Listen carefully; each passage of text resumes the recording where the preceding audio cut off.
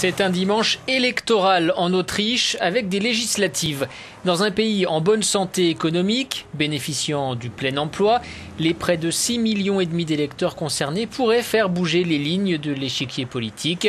C'est d'abord du côté de l'extrême droite qu'il faudra regarder. Le FPE a retrouvé de la vigueur, crédité de 20% d'intention de vote.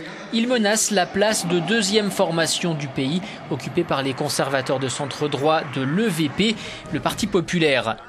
Plusieurs petites formations espèrent elles aussi percer en profitant d'une certaine lassitude des Autrichiens pour la grande coalition entre l'EVP et les sociodémocrates du SPE. Pour autant, ces derniers gardent de très bonnes chances de gagner. Ils étaient crédités de 26% dans les derniers sondages.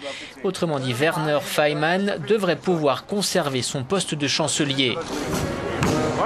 La véritable question est de savoir s'il constituera une coalition uniquement avec le VP, comme la plupart de ces 68 dernières années, ou s'il lui faudra trouver un troisième partenaire, un scénario sur mesure pour les Verts d'Eva Glavishnig, crédité de 14% après une campagne axée sur la lutte contre la corruption.